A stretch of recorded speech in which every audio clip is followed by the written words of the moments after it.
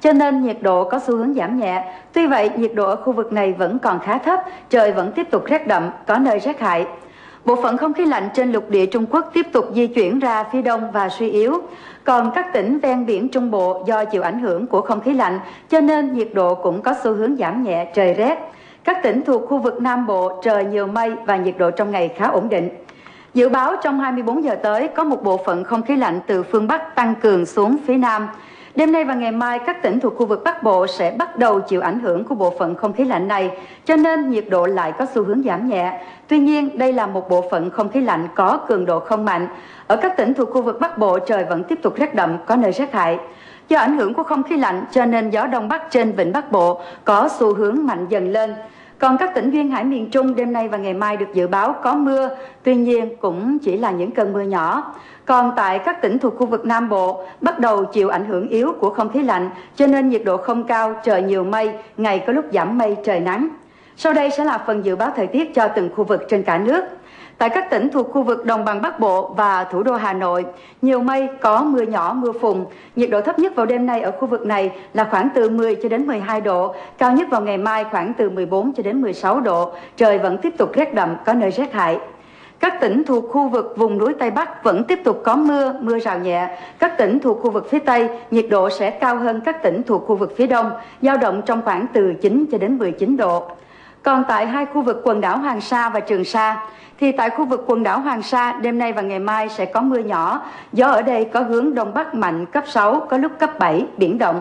Còn tại khu vực quần đảo Trường Sa, mây thay đổi không mưa, ngày nắng, gió ở đây có hướng đông bắc mạnh cấp 5, có lúc cấp 6, biển động nhẹ.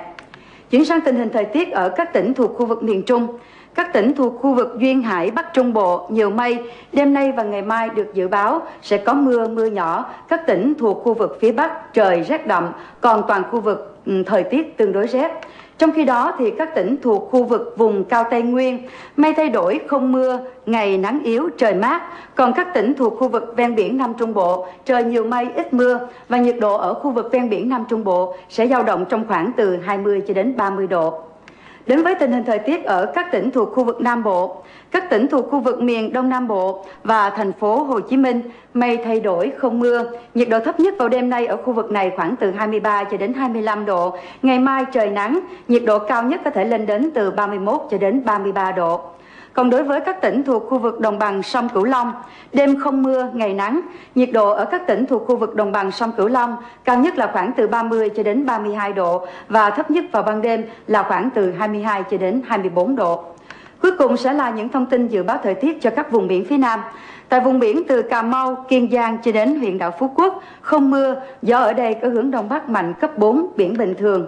Còn tại khu vực vùng biển từ Bà Rịa Vũng Tàu cho đến Cà Mau, trời nhiều mây không mưa, gió ở đây sẽ có hướng đông bắc mạnh cấp 6, giật trên cấp 6, biển động nhẹ. Quý vị vừa xem xong bản tin dự báo thời tiết của Đài truyền hình Thành phố Hồ Chí Minh. Xin cảm ơn sự quan tâm theo dõi của quý vị. Thân ái chào tạm biệt.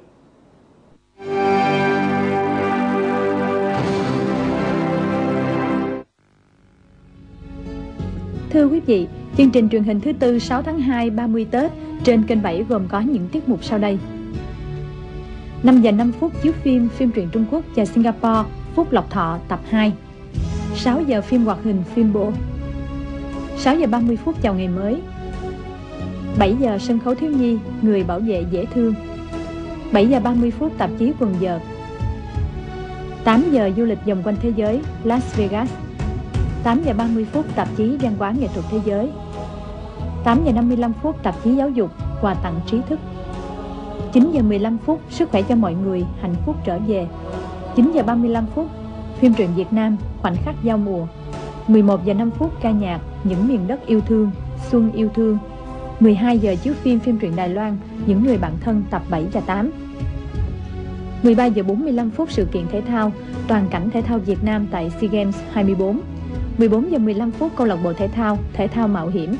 14 giờ 30 phút chiếu phim phim truyện Trung Quốc Dạ Vũ, tập 19 15 giờ 20 phút phim truyện Việt Nam Nấc thang mới, tập 9 16 giờ 5 phút phim tài liệu, Thành phố Hồ Chí Minh, sau một năm hội nhập WTO 16 giờ 30 phút nông nghiệp và nông thôn, Nét đẹp vườn lan. 17 giờ chiếu phim phim truyện Đài Loan, Hoán đổi tình yêu, tập 3 và 4 18 giờ 30 phút phóng sự, Mùa xuân gặp gỡ những ông đồ. 19 giờ, nụ cười tuổi thơ.